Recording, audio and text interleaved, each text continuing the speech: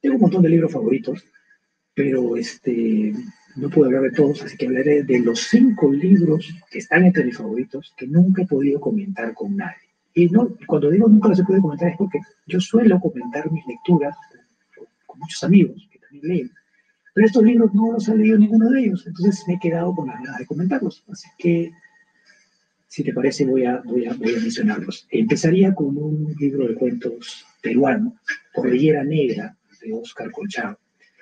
Y me refiero a la edición en la que se incluyen eh, los tres libros de cuentos que Colchado publicó en los años 80, Cordillera Negra, Camino de Zorro y Hacia Lejana Pacha. Este, son cuentos fantásticos. Y aquí quiero decir algo, algo que siempre he querido decir, pero no he tenido con quién.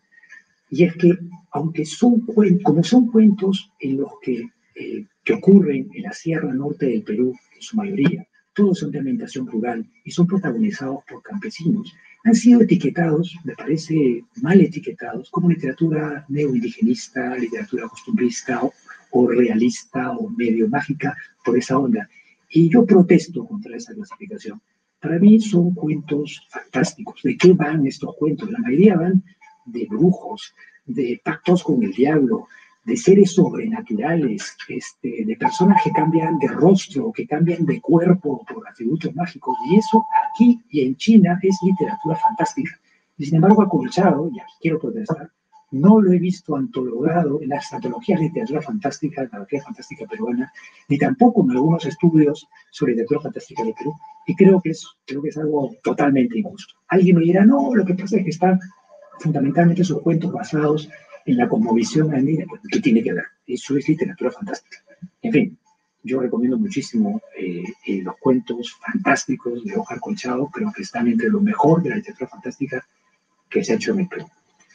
Después quería mencionar, ah, segundo libro, la última novela que escribió Tolstoy, Haji Murat.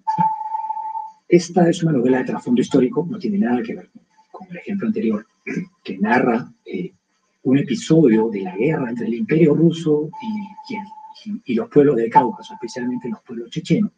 El protagonista es un guerrero checheno eh, que se llama Haji Murat, al con quien ocurre algo extraordinario, que después de haber luchado furiosamente contra los rusos durante mucho tiempo, decide cambiar de bando y pasarse al bando de los rusos. Esa situación que, que a primera vista pues, parece inexplicable, propia de un traidor, en realidad está muy bien justificada en la novela. Y, este, y creo que además es una novela no solamente interesante y emocionante por lo ágil y lo rápida que es, sino por el tratamiento que le da Tolstoy a los personajes secundarios. Brevísimo paréntesis. En las novelas que había escrito este autor 50, 40 años antes, en Guerra y Paz, Ana Karenina, hay toneladas de personajes secundarios, un montón. Este, y todos son desarrollados al máximo. O sea, Tolstoy desgrana su la biografía de cada uno de ellos y nos lo sabemos de memoria. Pues bien, en Haji Murat, que es una novela que a diferencia de las 1500 páginas que tiene Guerra y Paz, tiene solamente 150 o un poquito más, en Haji Murat también hay un montón de personajes secundarios, pero Tolstoy nos lo muestra, nos lo muestra solamente en los momentos más importantes de la vida de estos personajes. Es decir, no desarrolla toda la biografía de estos personajes secundarios. Y uno al principio se pregunta por qué, ¿no? O sea, sé que lo comparas con, con las anteriores novelas. Y a medida que avanza la lectura te das cuenta de lo que está pretendiendo el escritor. Y es que cada uno de estos personajes secundarios representa a un sector distinto de las dos sociedades que están en guerra, la rusa y la, y la chechena. Desde los políticos corruptos y el, y el zar, que es un desgraciado, hasta los soldados rusos que han sido forzados a enrolarse en una guerra en la que no querían participar, hasta los aldeanos chechenos, los líderes religiosos que los explotan, etc., están todos narrados con pequeñas pinceladas a través de estos personajes secundarios a medida que te cuenta esta historia principal que además es muy, muy, muy interesante. Es un novelón, si alguien alguna vez le ha, le ha, le ha tenido temor a las dimensiones de las novelas de Tolstoy, yo recomendaría que empiecen por la última, por Haji Murat, que tiene todo, todo lo que ha hecho en sus novelas anteriores, pero destilado y destilado al máximo. Eh, ¿Cuánta voy? Voy o no? Ya, caso. Es de mucho. A ver, ya, otra novela de trasfondo histórico que me encanta, eh, que no tiene nada que ver con la anterior, y que ocurre eh, después de la Primera Guerra Púnica eh, en la sociedad de Cartago, en, el África del Norte, eh, ha quedado arruinada después de la Primera Guerra Pública y tiene que pagarle una deuda gigantesca a los mercenarios, al ejército de mercenarios que ha luchado para ella y no hay dinero. Y se produce una rebelión de los mercenarios que no han sido pagados y una gran guerra civil. Ese es el trasfondo histórico de Salambo, la segunda novela de Gustave Flaubert, que es menos conocida y menos mentada que Madame Bovary o que La educación sentimental, pero que es una maravilla. Es una novela épica, es una novela cinematográfica, eh, por todas las cosas extraordinarias que pasan. Eh, hay, cosas loquísimas, hay leones crucificados, hay catapultas que arrojan serpientes, hay escenas en el interior de un acueducto, en un salón del tesoro custodiado por una serpiente gigantesca, hay un ídolo de, de bronce dentro del cual se sacrifican niños vivos que arden dentro, en fin, una serie de cosas desquiciadas, salvajes, loquísimas, este, con las que Flaubert llenó rellenó una historia incompleta, porque de la historia de Cartago realmente se sabe muy poco, este, para, para exacerbar su imaginación con un montón de imágenes muy locas. Y lo más importante, lo que me parece más importante de esta novela, además de que es muy entretenida, es un modelo, es una lección de construcción de espacios para narradores. Porque con muy pocas líneas, eh, la cantidad de escenarios alucinantes que también te hacen volar la cabeza este, que construye este autor este, con, su brevedad, con su precisión habitual, e, es, abrumadora. O sea, es, no entiendo cómo no se ha hecho una gran superproducción hollywoodense sobre Salambó y este, o una serie de streaming, porque sería exitosísima, es como un juego de tronos, pero más salvaje todavía. Hay, que, hay que leerla, es muy entretenida. Uh, voy tres. la otra que quería comentar. Ah, ya. Tampoco tiene nada que ver, con los anteriores, este no es un libro de ficción, aunque lo parece.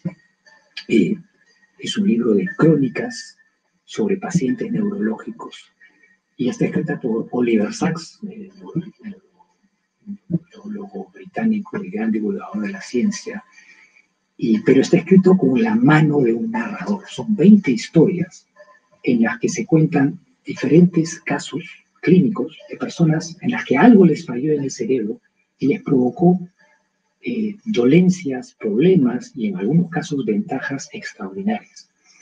Eh, por ejemplo, está la historia de una persona que se quedó sin memoria de corto plazo y cree que tiene 19 años, aunque tiene 50 y tantos. Y siempre está pensando en lo que tenía que hacer determinado día de su vida a los 19 años. Y cuando se mira al espejo se da cuenta que es un, es un anciano y, y lo, lo, embarga el terror y es una situación muy difícil o la historia de una mujer que perdió, después de un golpecito en la cabeza, el sentido de la propiocepción, que es un sentido que todos damos por hecho y que tiene que ver, por ejemplo, con si tú en este momento mueves el dedo gordo de tu pie izquierdo, tú sabes que lo estás moviendo, pero las personas que tienen la carencia de este sentido no saben lo que está haciendo el resto de su cuerpo.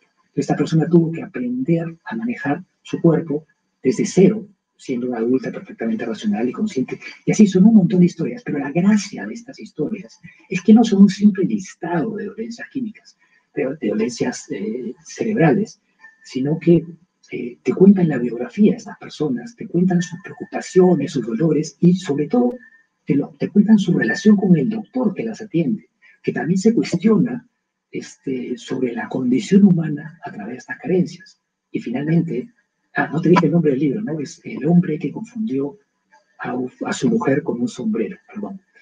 Este, porque también es, un caso de lo que ocurre ahí.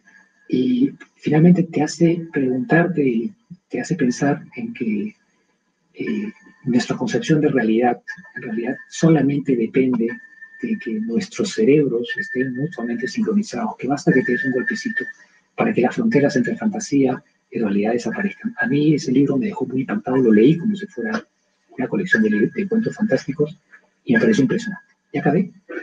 No, me falta uno. Disculpa. Este, ya. ya aquí voy a ser muy breve. Eh, una de mis novelas favoritas de todos los tiempos, que es Tres Tristes Tigres de Guillermo Cabrera Infante.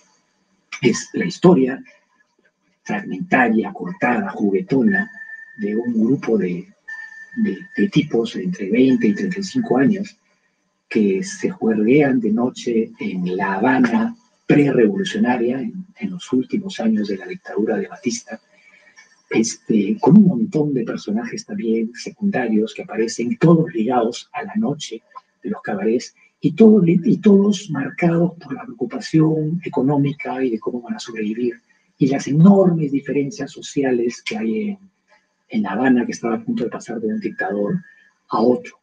Este, y claro, lo más señalado del libro, que es alucinante, es la cantidad industrial de juegos de palabras y juegos de lenguaje que hace el autor, que son absolutamente deliciosos y que funcionan muy bien, este, a un nivel, en mi humilde opinión, muy superior a lo que hizo mi querido Julio Cortázar con Rayuela, ¿no?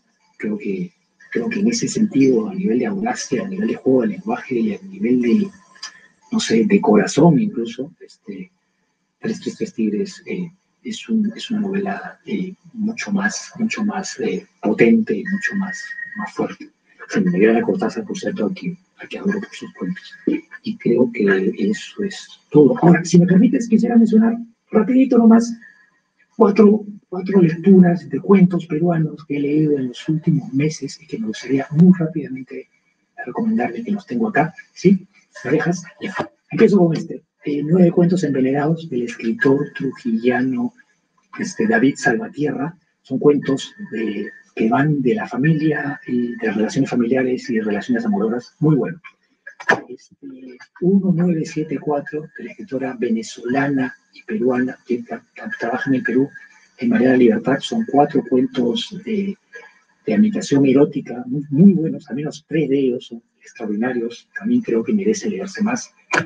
Eh, un libro de microrelatos nómadas de Malú Cabezas, una escritora limeña que ha publicado hasta hace poco, son 19 piezas deliciosas, la mayoría de ellas de temática fantástica.